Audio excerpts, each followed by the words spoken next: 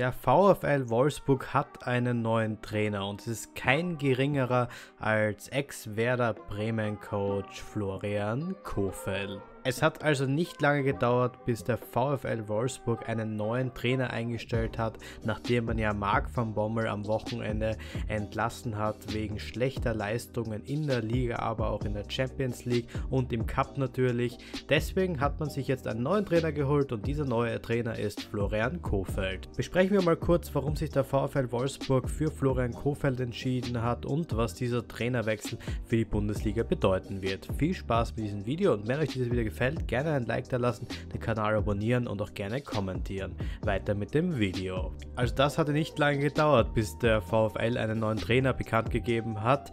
Wie ihr wisst, haben sie ja Marc van Bommel ähm, entlassen, nachdem er in der Bundesliga ähm, relativ schlechte Leistungen gebracht hat mit dem Team und acht Spiele ohne Sieg war und das war zumindest für den Anspruch des VfLs zu wenig. Nun hat man heute am 26.10., einem Dienstag, bekannt gegeben, dass Florian Kofeld, der Ex-Werder Bremen Manager, diesen Job übernehmen soll und auch vor dem VfL wieder in die richtige Spur bringen soll. Auf jeden Fall eine interessante Entscheidung, weil Kofeld vor eigentlich mit Bremen eher Abstiegskandidat immer war und jetzt einen Champions League Club übernimmt, weil der VfL ja in der Champions League spielt und ein Club, der so sehr hohe Ansprüche hat mit einem sehr guten Kader. Florian Kofeld wurde ja letzte Saison vom SV Werder Bremen entlassen nach einer nicht zufriedenstellenden Bundesliga-Saison, die der Werder Bremen, die Werder Bremen ja auch nicht ändern konnte. Sie sind ja schlussendlich dann noch abgestiegen und Kofeld vereinslos gewesen. Jetzt hat er einen neuen Verein gefunden und das ist kein geringer als der VfL.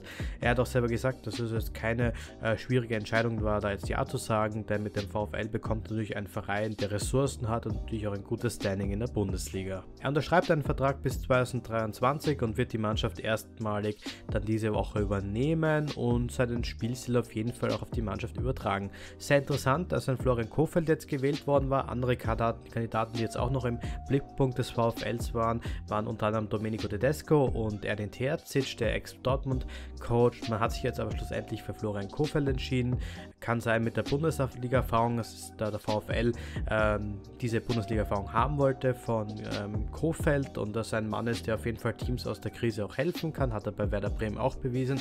Könnte auf jeden Fall ein entscheidender Faktor sein. Für Kofeld selber ist es die Möglichkeit, sich zu beweisen bei einem Club, wo er wirklich Ressourcen hat. Bei Werder Bremen wurde er immer wieder, äh, natürlich hat er immer wieder etwas sparen müssen, weil der Club finanziell nicht so gut dasteht. Bei VfL Wolfsburg bekommt er jetzt einen Verein, der grundsätzlich sehr, sehr gute Spieler hat. Du hast ein tolles Spielematerial mit Ridley Barco, mit äh, Xaver Schlage, Maximilian Arnold, Wout Weghorst, um nur ein paar zu nennen. Und da kann er sich auf jeden Fall austoben und ausleben mit Taktiken, was er will. Natürlich muss er die Ziele erreichen. Der VfL will auf jeden Fall in der Bundesliga stabil dastehen.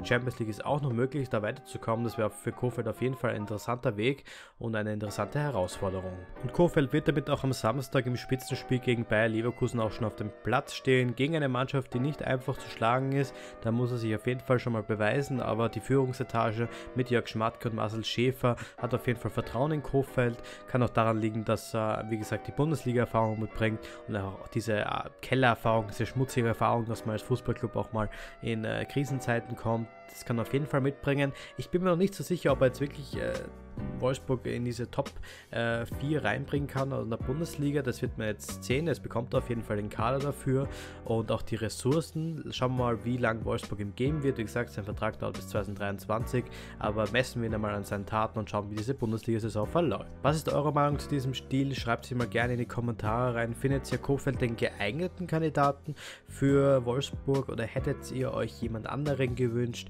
Glaubt ihr, dass er mit Wolfsburg erfolgreich sein kann und dass er diese kleine Mini-Krise jetzt bewältigen kann. Bitte gerne alles in die Kommentare rein. Und falls euch dieses Video gefallen hat, gerne eine Bewertung da lassen und auch gerne den Kanal abonnieren für weitere Fußball-News und Fußball-Content. Würde mich sehr freuen, euch auf dem Kanal zu sehen und weiterhin zu begrüßen. Und ich wünsche euch noch einen schönen Tag. Bleibt sportlich. Bis bald und ciao.